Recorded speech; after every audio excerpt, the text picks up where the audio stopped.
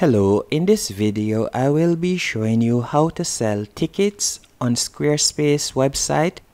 The first thing you want to do once in your Squarespace website, you are going to tap on commerce from the menu option on the left hand column. After doing that, you are going to select inventory. And once you have selected inventory, you will be redirected to this page right here and from here you're going to tap on add products in the top right hand corner. Then after selecting add products you're going to tap on digital download. After selecting digital download you'll be redirected to this page on which you can enter the ticket name and you can also enter the description for for example the event that you're selling the ticket for and you can also add in additional information.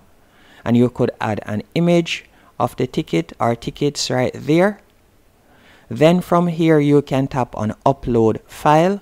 And you can also set the price for the ticket. Then you are going to toggle on on sale.